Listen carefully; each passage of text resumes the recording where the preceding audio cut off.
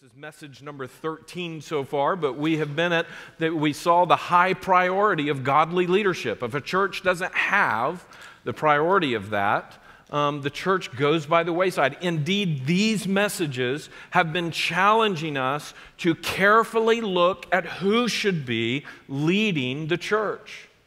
And many of you have commented on this that as we look at the call to pastors, we see the call to all Christians. And indeed, that should be what we see over and over again. And even as we look this morning, I believe that that will be the case. But one of the first things, the overarching idea is that a pastor should be above reproach. It does not mean that he is perfect, but it does mean that his reputation is a reputation of godliness, not a reputation of worldliness. The first thing that comes to your mind when you hear his name should not be sin, but the Savior. Look at the next one. Message number 10 was committed to faithful love. One of the first ways a pastor shows this type of commitment to God is his commitment to his wife. This means that he understands God's kinds, kind of committed love, a self sacrificing love. And so it's natural that that shows up first in the list. This is God's kind of love. And then message 11 was um, committed to faithful fatherhood. Um, this, again, is a representation of his walk with God in the home. And uh, how can he, how can it, as we saw from 1 Timothy, how can a man manage the family of God if he cannot manage his own family? And so this is part of the picture that is there. Not perfect fathers, but fathers who manage their household well. Message number 12, we began last week, and we looked at part one. Notice the sermon title up on the screen in front of you, and let's read it out loud together. And you can feel a little Shakespearean if you want to be, um, but notice here, let's read it. It says, To be or not to be pastoral qualifications. So, part one, we looked at the fact that he is God's steward, that this is an important part of that and then we saw some things that he's not to be. So have your outline there and notice under the review, number one, fill this in, especially if you're new to us this morning. This will make the whole thing make sense. The Apostle Paul writes to Titus about how to lead the wayward churches of Crete. They had churches with a lot of trouble to establish three things right doctrine, right leaders, and right living. Just fill in the word leaders there. Right doctrine, right leaders, and right living. living. We've been focusing on leaders. Number two, Paul instructs Timothy to appoint godly elders or pastors or overseers in the churches. Now, this is real important no matter what background you come from, whether um, Catholic or Baptist or Presbyterian or whatever it may be, we need to see what the Bible, the terms the Bible uses for what we in Baptist churches call pastors. Um, notice here with me, there is no difference between a pastor and an elder according to the scripture. Um, these, these terms are used synonymously. Um, they are the same thing. So when you hear elder, um, really the idea here is a pastor. Um, the different verses from 1 Peter to Titus to Timothy, and then in other places in the book of Acts and uh, others as well, it shows these are synonymous terms, just so it's clear. So if I say elder, I'm talking about a pastor. Um, number three, worldly leaders do something. What do worldly leaders do? We said last week. Who remembers? Okay, I heard it back here from, I think, Daniel Simu, sounded like him, I'm not sure. Worldly leaders wreck the church. Fill that in. Worldly leaders wreck the church. Now, they may do it slowly or they may do it rapidly. But if you have a worldly leader, someone who is fleshly and not thinking and not, not focusing upon the truths of God's word, slowly but surely the church will be wrecked. Or suddenly the church will be wrecked. But when we get away from God's word, when we look to worldly leaders who maybe are smart or bright or persuasive or manipulative or whatever it is, very powerful leaders sometimes, um, they, over a period of time, will wreck the church or suddenly. But biblical leaders, when we pay attention to what God's word says, biblical leaders will build the church. Very good. I heard somebody say it. Will build the church. So, this is a great joy to see that God has a plan.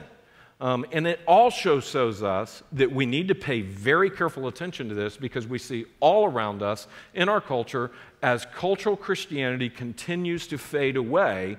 We see that churches that are not healthy are also fading away. Heard about another one this week um, here in South Florida um, that is simply fading away very tragically, very sadly. It used to be a vibrant church, but over a period of time, the gospel ceased to be preached and as a result of that, the church is simply fading away. So look at number four. Fill in number four. A pastor is an accountable manager of God's household. An account, a pastor is an accountable manager of God's household. And we see it in verse 7. And look at the box there on the page in front of you. In verse 7, he's called God's steward. And so that as God's steward, he is to be one of these. Remember, we looked last week. this is not like a flight attendant type steward. This is not like somebody on a cruise ship that brings you um, something to eat in the dining hall. No, this is talking about a manager who is going to be held account. And he's very, very aware of that. We looked last week at the five not to be's. And so we're going to go back and we're going to read the passage um, in the box on the top of the page um, verses 5 through 9, and you will see the not to be's as we come to that. But look with me in, in chapter 1 and verse 5.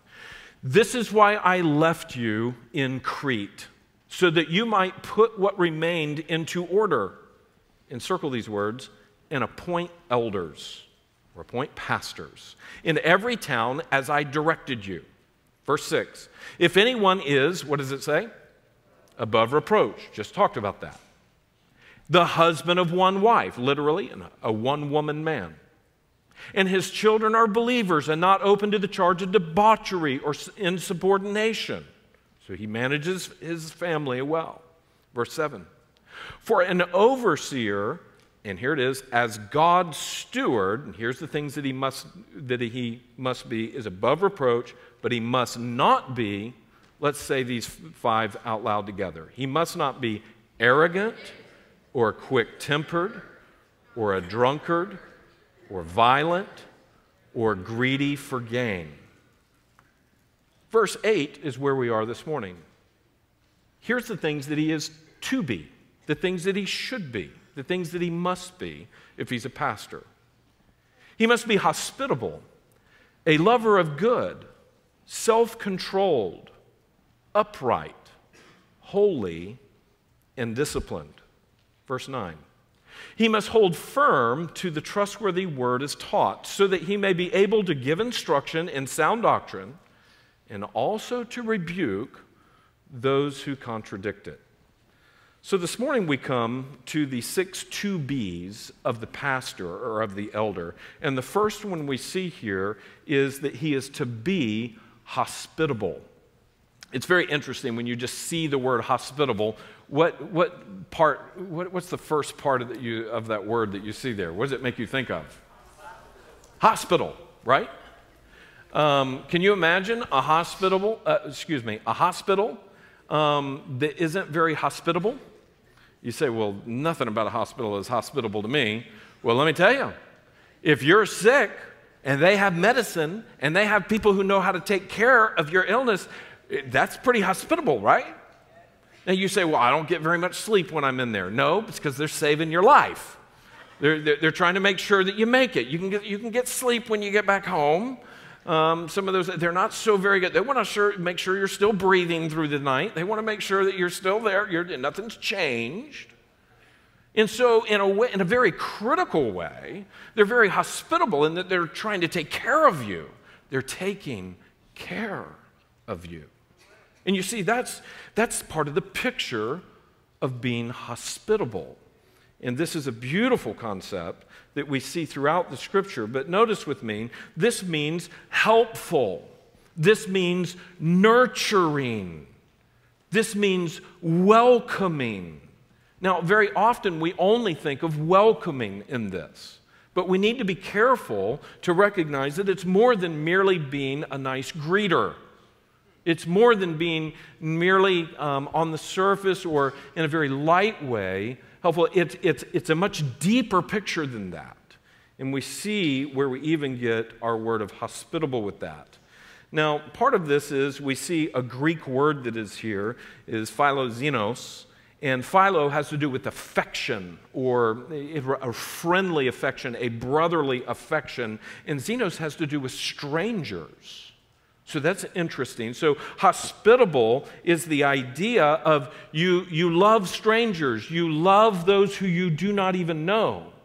What if you showed up at Memorial Hospital and they said, Nope, we don't know you, go away? Wow. Well, see, they, they have to minister to everyone. And so they're, they're, they're seeking to care for everyone in this. And here's part of the picture here that the word stranger is in here, the foreigner is in here, the one that you do not know is in here. Just the opposite of philoxenos is xenophobic. Isn't that interesting? And that has to do with being afraid of strangers. That has to do with not being friendly to strangers, but being afraid of strangers.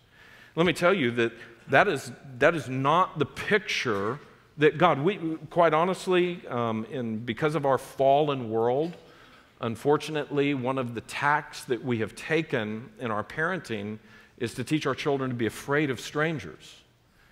I want to encourage you that we must be highly protective because we live in an extremely, exceedingly evil and warped society. There is no question of that. We see that around us every single day. Parents must be very vigilant in many, many different ways in this way.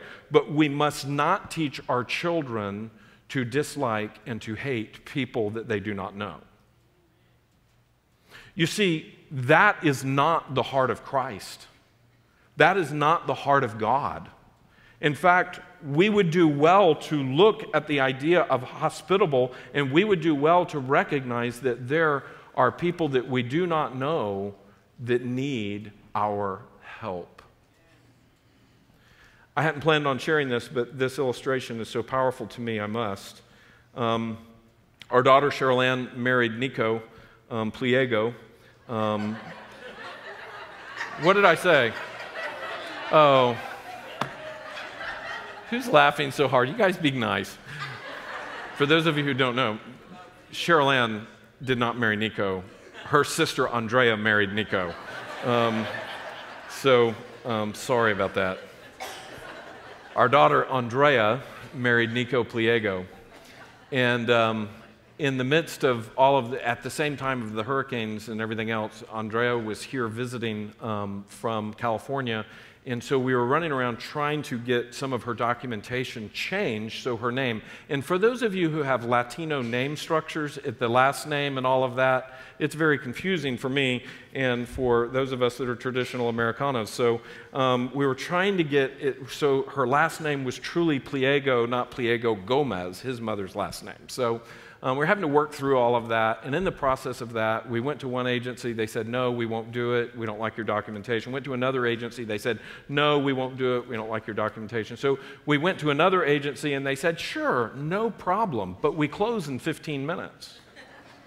And so we're like, oh, we can get this done. It'll cost $4,000 in California. We can do it here for 50 bucks. Great. And so we start going through it. And as I start to realize, they don't take a credit card and it's 445 and we're down in the Keys when this was happening. We were down doing hurricane assessment, and the license agency had just opened. So there I am, and the lady just said, "You have 50 bucks, right?" I'm like, mm, mm, mm, and I thought if she just start the paperwork, that'll get it going. Then she'll be more committed to wait and help us or whatever. So, anyways, so we're sitting there trying to work through it, and some other guys had walked in from some last minute business. They've already locked the door at this point, and there's two guys that are standing there next to us. And I realized I do not have cash, and this lady is not going to finish this paperwork if I don't pay them. And so I look over there, and there's two guys that were obviously Latino guys. And I just went up to one of them, me, the gringo, going up to them, and I'm like, um, excuse me, we're, we're really down to the wire here. My daughter's got to go back to California. And do, could I borrow 50 bucks? For 15 minutes. For 15 minutes, I'll go and I'll get. And the guy as I'm talking, he reaches in his wallet and I'm explaining everything, and he said, No English, no English. as he took out a $50 bill and he handed it to me.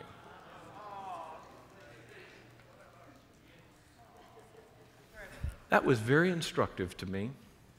He didn't even know what I was saying. And he reached in, he was dirty from head to toe. He was a contractor of some sort down there working after the hurricane. And he was from Mexico. And eventually, Andrea and I were able to express to them, she married a Mexican. but they didn't know that. They just saw this guy that urgently needed help. And without hesitating, without asking questions, without anything, he reached in his wallet and offered $50.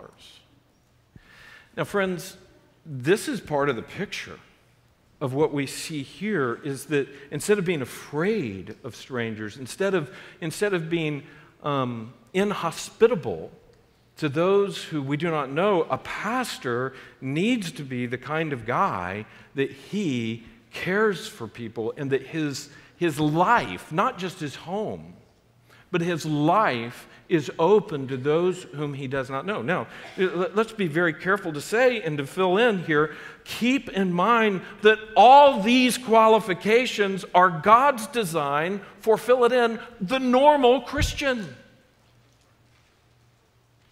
You see, this is why a study on who should be a pastor matters to Carlos Molina, and this is why it matters to Chuck and Kathleen Samarias. This is why it matters to everybody in the room. Because we're seeing an in depth rehearsal of what is a Christian. And so we are all called, you know, well, pastor's called to be hospitable, not me. Oh, really?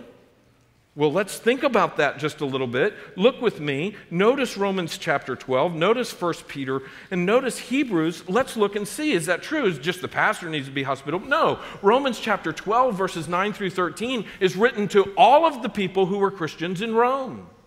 And for us, you see, this is directed to all Christians. Fill that in. Let's look at Romans chapter 12 and verse 9 through 13. It's on the screen in front of you. Let love be genuine. Abhor what is evil. Hold fast to what is good. Love one another with what? Brotherly affection, that philo, that Philadelphia, that, this picture of a, of a loving affection. Outdo one another in showing what? Honor. Do not be slothful in zeal. Be fervent in spirit. Serve the Lord. Notice what it says in verse 12. Rejoice in hope. Be patient in tribulation. Be constant in prayer. And then in verse 13, contribute to the needs of the saints and seek to what? Show hospitality. This is, this is for all Christians. Notice 1 Peter chapter 4, verse 7. It says, The end of all things is at hand. Therefore, be self controlled, sober minded for the sake of your prayers. Verse 8, above all, keep loving one another earnestly. Sounds very much like Romans 12. Keep loving one another earnestly, since love covers a multitude of sins. Read it out loud together with me. Verse 9. Show hospitality to one another. Now, how many times did you hear someone in your house go, Well, we're having them over, but soon as they've eaten, they're going? Or, you know, you're there, yeah, we're doing all this, and, it, and, and it's just kind of obligation. You know, it's, you know, relatives from New York or relatives from South America or relatives from Argentina, you know, whatever it is. They're, they're coming from out of town, and you, you just kind of, for some of you, it's not been a glad thing to see hospitality, it's been kind of a mad thing. And so the, verse 9 is saying, no, no, no, no, no, no. Show hospitality without grumbling. And this even means, in the context of the church, take care of one another in the church without grumbling, without counting the cost, without, without being so reluctant to do it. In fact, that even goes with God's call for us to be a giver. And what kind of giver? not a begrudging giver, but say it out loud a for God loves a cheerful giver. Um, you see, you can give, you can host, you can do other things, but if you do it begrudgingly, if you do it grumblingly, you are missing the blessing. Look at verse 10. As each has received a gift, use it to serve one another as good stewards of God's varied grace. You see, we're all stewards. It's not just the pastor that's a steward. Verse 11, whoever speaks as one who speaks the oracles of God, whoever serves. He goes on to, to show a deeper picture of when you're saying things, speak what God says. When you're serving, serving God's strength. Look at Hebrews chapter 13. Hebrews 13 also shows this is for all Christians. Let brotherly love do what? Continue. See, all these are about loving one another. Verse 2, read it out loud together. Do not neglect to show hospitality to strangers. Now, that was very weak. Not all of you were there. Let's do verse 2. Do not neglect to show hospitality to strangers, for thereby some have entertained angels unawares. What does that mean? For those of you who are new to us, what, what, what the statement is here is that there are some who've shown hospitality, the people who are strangers, and here's the beautiful picture they were actually angels in the flesh, and the people didn't even know that they were being tested. They didn't even know what was really happening. That passage has made me turn around before. That passage, when the Lord speaks to my heart about something, has made me say, man, I feel like God's leading me to love this person. I don't know why, I don't know how, but Lord, okay, if that's what you want. And, you know, we need to be careful um, to do that. Look at verse 3. Remember those who are in prison as those in prison with them. He's saying, remember those in prison as if you're there. And those who are mistreated, since you are also in the body, you, you also have struggles. Look at verse 4. Let marriage be held in honor among all, and let the marriage bed be undefiled. For God will judge the sexually immoral and adulterous. Is this just for pastors? No, this is for Christians. Verse 5 Keep your life free from the love of money and be content with what you have, for he has said, I will never leave you nor forsake you. Now, you see, these lists sound similar to verse 7 and verse 6. Don't do these things, but do these things. And this isn't just for pastors, it's for all. So fill it in at the bottom. These characteristics should be normal for all, or for all Christians, but they are mandatory for elders. So, these should be normal for everybody in the room who claims Christ. But let me tell you that nobody should be an elder who doesn't have these. So that's a little bit of a difference in that you cannot have an elder that does not understand and inculcate these things into his life. Number two, on the backside. Number two, not only hospitable, but look up there in verse 8. It says, hospitable, a lover of good, self controlled, upright, holy, and disciplined. So here we come to number two a lover of good. You see, this is a friend of virtue. The pastor has to be one who loves the things that are virtuous and the things that are inherently commendable. That means good. In their very essence, they are good. They don't, they don't have anything that's bad about them. There are some principles and truths, and there are some actions in our, in our world that God has given to us that are inherently commendable because they are like Him and He is inherently commendable. Inherent in who God is is goodness and it can be commended to others. It can be recommended to others. It can be offered to others. And so a pastor needs to be one who loves that which is good and virtuous. Consider the alternative. The alternative to this is those who gravitate not to good, but to evil. And they actually love darkness. That must not be a pastor. It doesn't matter how much he masks it on the outside, but if he gravitates to that which is wicked instead of that which is good, it doesn't matter how eloquent he is. What is so important is that this is a man who's a lover of that which is good. And again, in John chapter 3 and verse 16 through 19, we see that this isn't just about pastors, though we see the issue um, very clearly. And notice with me what the big difference is. The big difference is do you know God? And we see this in, look at verse 16. You know this one by heart, many of you do. John 3 and verse 16 says, For God so loved the world that he gave his only Son, that whoever believes in him should not perish, but have everlasting life. This is the gospel. This is the great news that God loves us so much that He gives His Son, that if you believe in Him, you do not have to go to hell and pay for your sins. He has paid for your sins, and you can have eternal life. Look at verse 17. For God did not send His Son into the world to condemn the world, but in order that the world might be saved through Him.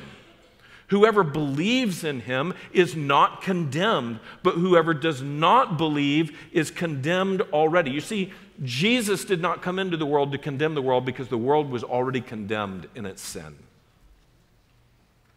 And so when Jesus comes into the world, he's coming into the world to save his children. He's coming into the world to redeem his people. And so notice this with me in verse 19. And this is the judgment that light has come into the world, and people loved the darkness rather than the light because their works were evil. And so Jesus is saying to us, and he's showing us the very thing that is about to happen in his own life when he is nailed to a cross. That we heard the truth, we saw the truth before our very eyes, and we nailed the truth to a cross. You see, we need a Savior. We need a Savior that we. It redeems us out of all of our depravity and out of all of our rejection of God. Look at Psalm 52 and verse 3. In Psalm 52, the psalmist writes, You love evil more than good, falsehood more than speaking what is right. That must not be a pastor. And in fact, John 3 is showing us that that cannot be a Christian. Now, the exact opposite of that is found in Philippians 4 8 again, a passage that for many is familiar. I want you to get ready to do a couple of things. Number one, look at Philippians chapter 4 and verse 8. It says, Finally, brothers. So who's he speaking to here? He's speaking to the church. He's speaking to Christians. Circle the word brothers. You see, he's not talking about lost people, but those who know Christ, this is what they're supposed to think about. This is what they're supposed to dwell on. Finally, brothers, whatever is, underline it, true. You see, God is all about truth. Whatever is honorable, God is all about honor. Whatever is just, this is, this is having to do with right, which is true, right. Whatever is pure, underline each one of these. Whatever is pure. Whatever is lovely whatever is commendable. Underline commendable. If there is any excellence, because God is excellent, if there is anything worthy of praise, because God is worthy of praise. Look, notice what it says. Think about these things. Now, what is interesting is the word for think about is it's not just like we think about things, you know, in, a, in the American vernacular. We, we're kind of like, well, think about that. No, the idea is um, that you would logically process and that you would meditate on it, that you would think through. I, I, I would, if I was translating this, I would, in, from Greek into English, I would put think through these things. Thoroughly think about them, and then about this interpret the world around you based upon these things. Evaluate the world around you based upon these things, which is true, honorable, just, pure, lovely, commendable, excellent, and worthy of praise. Just evaluate movies, evaluate attitudes, evaluate policies, evaluate politicians, evaluate, I mean, all of these things. You say, well, there's no hope then. I agree. But the, other than crying out to God for them. But we, we look at this and we say, we must evaluate the world through that which is right and good. We must love that. Now, let me tell you that Hollywood is all about you becoming a lover of evil instead of a lover of good. What was Desperate Housewives all about? I hope you don't know. But if you don't know, you know what it was about? From near I could tell, and everything I read about it, and I never saw it, I saw five minutes here and three minutes there, or something like that. Near about I can tell, it was all about adultery. I mean, it was just about adultery. It, it was about loving the things of the world and loving yourself and about the exaltation of self. You know, so storylines come in either with humor or with drama or trendiness or coolness or whatever. And then we've gone into this whole craze of reality TV. Are they, I mean, you know, there's a couple of shows that maybe occasionally exalt and celebrate righteousness, but usually it's about a cat fight. Usually it's about who lied and who did somebody wrong and all of the foolishness all the lowliness of sin.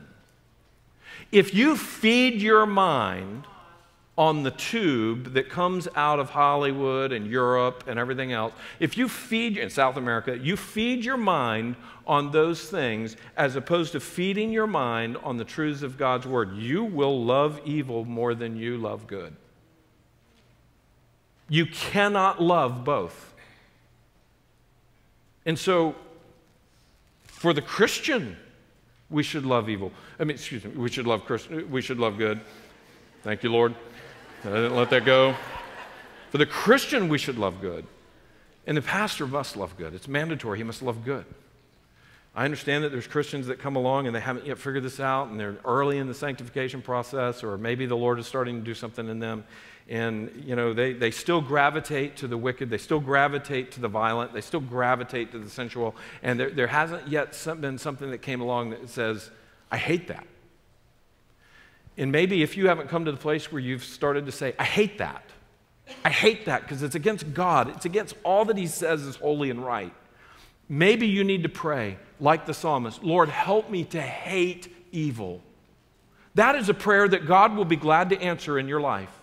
If you will ask God to help you hate evil, if you will ask God to help you hate sin, He will help you learn to hate it. You, you can just confess to Him, Lord, sometimes I don't hate evil. In fact, I sometimes I prefer to hear stories of evil over stories of love and truth and holiness. Confess that to God as sin and ask for His help. God loves to answer those kinds of prayers of His children. When I went overseas to Czechoslovakia when I was 19 years old, at the end of the summer, we were all talking on our team about what God had done in our hearts and lives. And I'll never forget a young lady named Debbie Mossman sat at the end of the tent. We were all sitting there in the midst of a rainstorm. And we were talking about what God had done through the months of smuggling Bibles into Czechoslovakia. We'd worked in a pretty intense mission. It had been hard work, seven of us. And Debbie read in her journal how she had prayed at the beginning of the summer. She said, Lord, I've realized that I don't hate my sin. I've become very comfortable with my sin. And my heart is hard about my sin. And Lord, I pray that you would help me to hate my sin and that you would help me to love what you say is right. And with tears that night, she read the end of her journal entry of just saying, God has brought tears to my heart over the ways that I have sinned against him and he has brought renewal to my heart and my love for his righteousness. May we be lovers of good. A pastor must be a lover of good. Number three, a pastor must be self controlled. He must be self controlled. It's very interesting, the word self controlled. Sozo, fren, is, those are the two roots that it comes from. It's a, one of the Greek double words. Sozo means to save to save, and fren is the word for mind. Um, so, to save your mind. Now, here's the idea don't lose your mind. A pastor doesn't lose his mind. How many times have you heard somebody say, Man, the guy just lost it? You ever heard that say? Uh, think about that expression. You're making me lose my mind. Or you, you see this guy and he's, he's just going off, a woman or a man and everything, and they just say, He lost his mind. Well, here's, here's part of the idea a, a pastor can't be one of those people that just loses his mind. In fact, Christians are not supposed to be the people who just lose their minds. You see, feel, notice this and fill it in.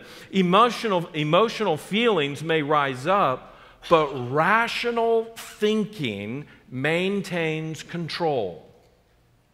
Rational thinking maintains control. Now, put out there to the side, this can only happen through the power of the Holy Spirit. I really believe that.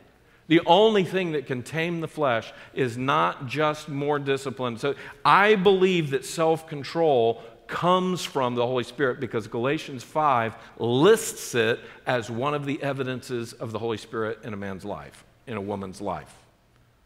Self control is listed as one of the indicators that you have the Holy Spirit. And so it is the Spirit who does this. Now, this next couple of minutes, I'm going to share something with you that is even beyond a little bit of this, just because it's so important for the Christian life. And what I'm about to share with you may bring you into victory in a way that you've never experienced in your life. And the reason I say that is because someone shared with me the train diagram, and it changed my life when I was 19 years old. And so I'm going to share with you the train diagram. Here it is. Successful, excuse me, feelings are fine as long as they are not in charge. If feelings are in charge without rational thinking in the Holy Spirit, then the flesh wins and the circumstance wins, as opposed to something else. I want you to see this. Successful faith, circle the word faith, and successful obedience, circle the word obedience. So faith and obedience are driven by truth or facts, not feelings. You see, if feelings are in charge, you're going to lose it. You're going to wipe out. It's not going to work. Feelings deceive you. Your heart deceives you. Jeremiah 17 9 says, The heart is deceitful above all, above all else and desperately sick. Who can know it? And we, we often think of feelings as coming from the heart, and sometimes it's a combination of heart and mind, but we, we see this. Feelings can be very, very good, but they also can be quite a bit of trouble. We often, you know, go back to the 1970s, Andy Williams. Feelings, nothing more than feelings. I mean, you remember that? Some of you, and some of you are ready to sing it with me you know, feelings. I mean, it goes on and on and on. Oh, feelings. You know, and, you know, it's this. it's just all about the emotion of my heart breaking that I don't have you, and and, and it's. You know, that some of those sentiments may be right, but you know, you cannot live in a successful relationship with God being driven by your feelings because He has given us facts and He's given us a mind that is able to process truth, rationale. Our God is a logical God. Now, He's a feeling God, He's an emotional God, there's no doubt about it. But we always see that His emotion never contradicts His truth. And so we have to bring our emotion under submission to truth. And when we do, now our world doesn't understand this. Our world runs now on emotions and feelings. I mean, it all has to do with how does it feel. It, people don't say anymore, well, I think so much. Instead, what do we say? Well, I feel. We talked about that in our worldview study, that over the last hundred years, the world has moved mo- much more to a feeling based rationale than even a, or motivation, than a thinking rationale. Now, here's the picture. Um, and I, I want you to kind of get this. The engine of the train diagram, the engine that drives the train is fact. And it's not just fact, but for the Christian, it's God's word. And the fuel that goes into the engine is our faith. So we put our faith into something. It's not just not faith in faith, it's faith into the fact of God's word. So we believe what his word says. We trust what his word says. We continue to learn what his word says and we continue to believe it. If God says he gives the strength to put up with this broken relationship or to have patience about this broken relationship, if God's love has been poured out within my heart through the Holy Spirit who's given to us, then, then I, can, I can forgive this person that has harmed me so much or, you know, there's a multitude of applications of God's truth in our life, the things that seem so hard. But as we continue to study the fact of God's word and put our faith into God's word, then we can see. Now, some of you don't know what a locomotive is. Uh, we live in a day and time where we don't realize that there were steam powered locomotives. You've only seen the big diesel electric mo- locomotives. But back in the day, when locomotives began, it had a boiler and you had to shovel the fuel out of what? The coal car. You see the coal car behind this thing? That coal car, that mound that's there, is a bunch of coal. And they would shovel the coal car into the furnace on the locomotive. So those guys, they were driving the locomotive by turning it on and all that kind of thing. But they were also shoveling coal. And the more that they would create steam, it would drive the pistons and the power would come. But it wouldn't go anywhere if it didn't have fuel. And the fuel was the coal car. So, so in this example, we're looking at it, and it's fact. And, and what do you do? You take your faith and you shovel it into, that's what that little arrow is. You, you, you put your faith into God's word. And then at the end of the train, there was a car that all the documents went on. What was that called? What is that thing called? The caboose. So the freight and all the stuff and the crew for the train, they, they would have access to the, the uh, caboose. The caboose would have the documentation of who shipped what and everything else. There was a, the reason for that. And, and so the caboose would come trailing along at the end of the train. Now, I just want you to think about this. God has made it so that we can live our lives with fact, faith, and feeling, and the feelings properly in the back of the train. The feelings are powerful. Feelings are good. Feelings can bring either joy. They can let us know when things are wrong, and you know it's part of real of who we are. But we've been designed to keep the train moving forward. When we see Scripture, we see that we should keep the train in the forward direction. But do you know that some people run the train of their life in reverse? Now think about that. What's what, what's the picture here? Feelings are going first. Feelings are, are, are what's running the show. I mean, the, the picture is that they're just kind of going based upon what they feel. And, you know, well, this feels right today and it doesn't feel right tomorrow. And, you know, what about this? And this all feels like a disaster. There's no hope in this. Da, da, da, Whereas God's people are called to say, no, I'm not going to live with the train in reverse. I'm going to keep the train going forward putting my faith in what God has said in His Word, and I know that eventually the feelings will come along beside, behind. So the, the picture is a pastor can't just live his life based upon feelings.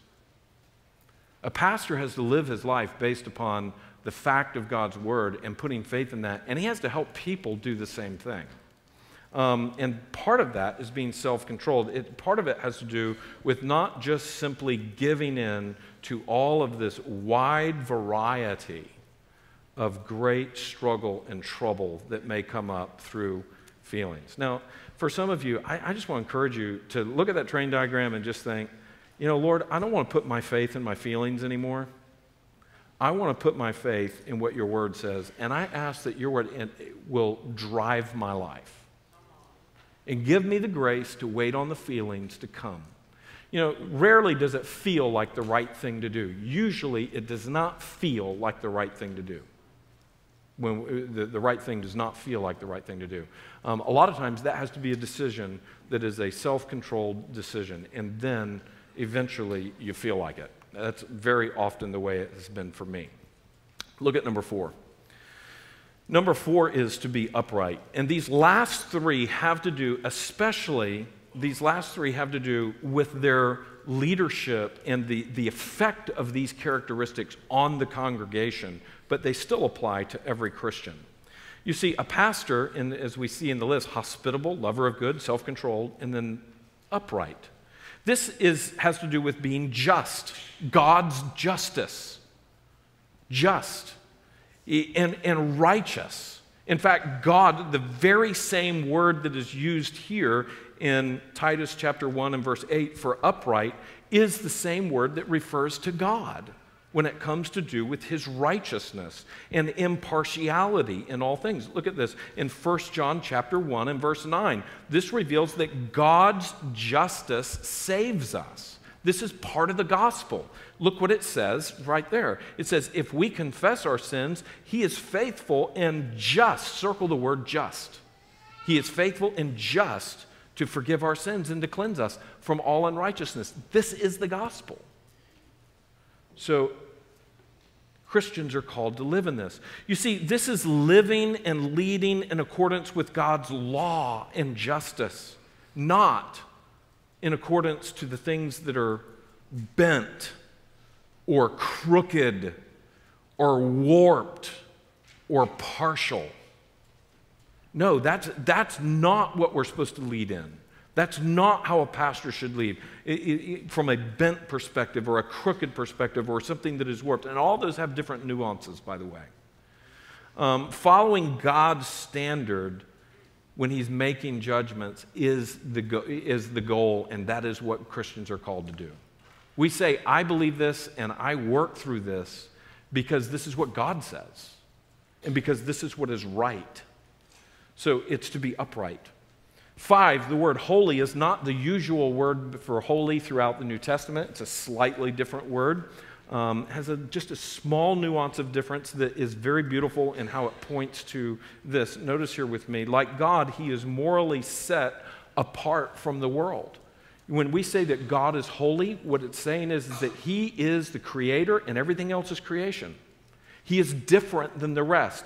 God is not like the world. In fact, the world is fallen and there's sin that is in the world, and God is not a sinner. God doesn't have anything to do with sin except saving his people from it. And so here we see that God is morally set apart from the world. The pastor, the Christian, needs to be morally set apart from the world. And so this one is leave, living and leading as one who, like God, has different values and affections than the world, knowing that this world is passing away and that eternity is coming. Now, interesting that small nuance is here. You see, this the idea here underneath number five is he is pious. The pastor is called to be pious, which means he is, fill it in, devout and distinct in both his being and his behavior.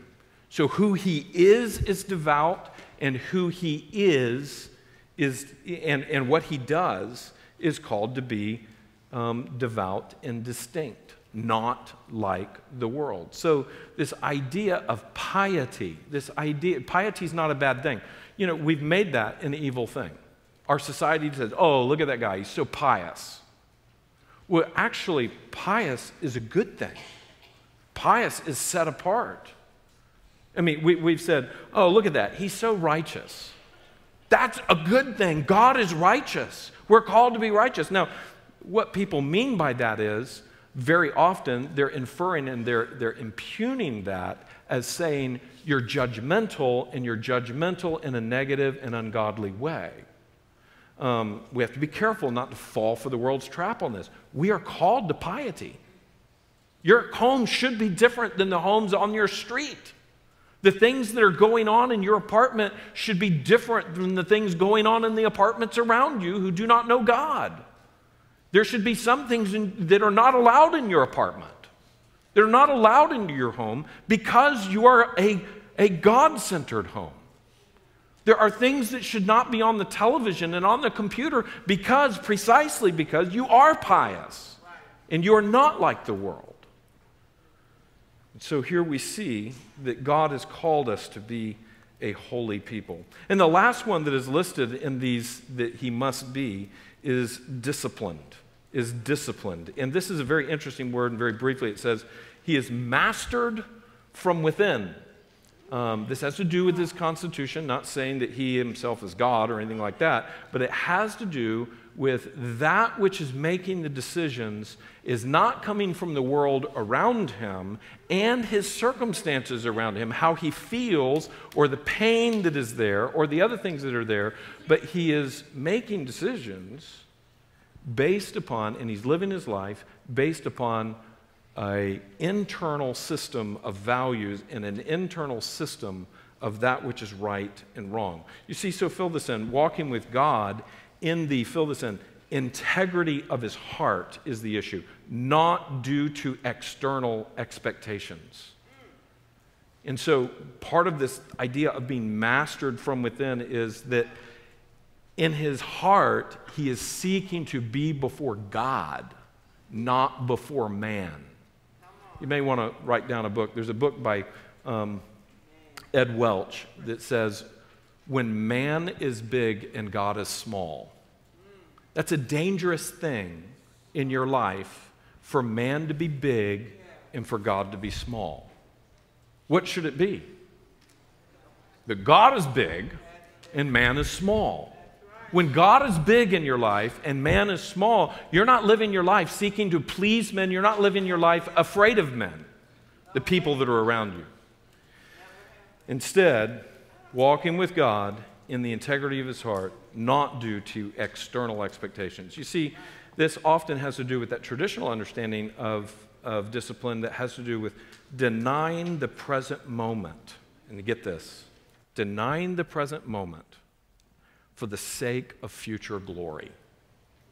We have to be willing as Christians to deny the present moment, to deny the flesh, to deny the easy way out, to deny the, the, the, you know, the, just the response, whatever it may be, to deny the present moment for future glory. Now, you've already started packing up, I know, but just notice here Luke 22. Circle Luke 22. And I want you to see this as we finish. In Luke 22, on the night before he's going to the cross, our Lord and Savior, Jesus Christ, creator of the universe in human form, left the upper room, went down, stepped across the Kidron Valley, the, the Kidron River that was there, just a little brook. Would have been bright red that night, by the way, because of the sacrifices. The blood coming out of the Temple Mount. He stepped across that, perhaps in the moonlight, it was already dark and he went up into an area called Gethsemane, the Mount of Olives. And he went there, as was his custom, at night to spend time with God. And the disciples went with him that night. And there he, and I've been there in many of these trees, some of these trees would have still been there um, from even when Jesus was there. Uh, some of these olive trees are very, very old. But while I stood there a few years ago, I was just thinking about the prayers of Jesus, of denying the present moment for the future glory. That he was about to go to the cross, and it wasn't just about to be a physical torture, but the greatest spiritual torture that could ever be that God, second person of the Trinity, who knew no sin, would become our sin and take it to death on the cross, take it to the tomb, and then rise again. There was about to be a conflict like nothing that we have ever seen or will ever see on the earth when the Son of God became sin for us. And the Bible tells us that he said, Nevertheless, Father, you know, if there's any way for this cup to pass from me, let it pass from me, but nevertheless, not my will, but as thou wilt. Your will be done. This is the ultimate picture of discipline. This is the ultimate picture of denying the present moment for the future glory. And our Savior has done it. In the Bible, it says that he was so earnest in this prayer that his sweat became great drops of blood. I remember while I was standing there, I turned around and there's a wall that is there, and I noticed a very small carving in the wall. And this image has never left my mind as it just shows Jesus almost in total fluidity, laid out before the Father in prayer because of his great agony. And in that moment, when Judas and the priests and the Roman guards showed up, he could have called a million angels to obliterate that hill and wipe out Jerusalem. And the creator of the universe did not do it. The creator of the universe allowed them to arrest him and mock him and torture him, and he willingly laid down his life for his friends. Friends, this is the gospel. I don't know if you have ever come to truly believe the gospel, but I call you, if you hear God's voice calling you to Himself to believe this gospel, I call you to come and to believe this gospel and to see that Jesus died for the sins that we could never die for. Jesus died for the sins that we could never forgive. Jesus came and he gave his life as a ransom for many, and he did it through a massive discipline. And he calls us to learn to live in that kind of love and that kind of discipline. Would you pray with me?